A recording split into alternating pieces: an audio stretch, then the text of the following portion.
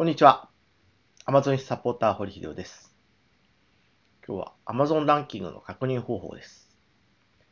FBA 納品した商品が売れないというリスクを下げるために、ランキングがある商品は使いましょ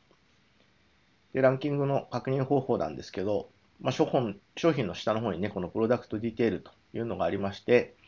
その中、ね、ベストセラーランクというのがついてれば、ランキングがあると、売れた実績あるということです。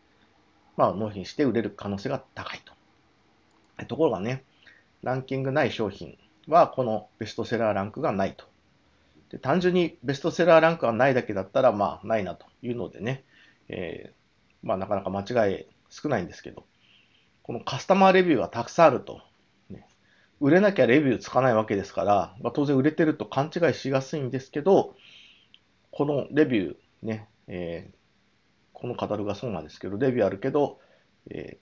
ー、ベストセラーランク書いてない。これは間違いじゃなくて、え、売れてないということです。で、このレビューは何だということはね、他の国、オーストラリア以外の国、アメリカや日本、まあ、あるいはね、まあ、ロンドン、ドイツ、フランス、どっかわかりませんけど、他の国の内視鏡レビューで、オーストラリアでは最近売れた実績はないと。売れない可能性が高いです。